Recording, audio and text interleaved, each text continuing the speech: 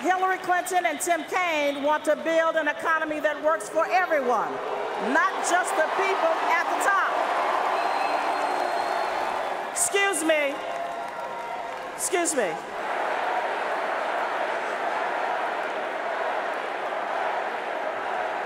Ours, ours is a party of unity and not division. Our platform has passed my father's test, and it has done so not by seeking common ground, but aspiring to higher ground. For me, this choice is personal. It's about who we are as a people. It's about what kind of a country we want to be. This is what democracy looks like!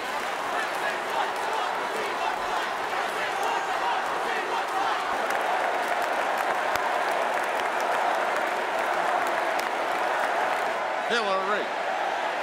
Unity, unity, Hillary. unity. Hillary.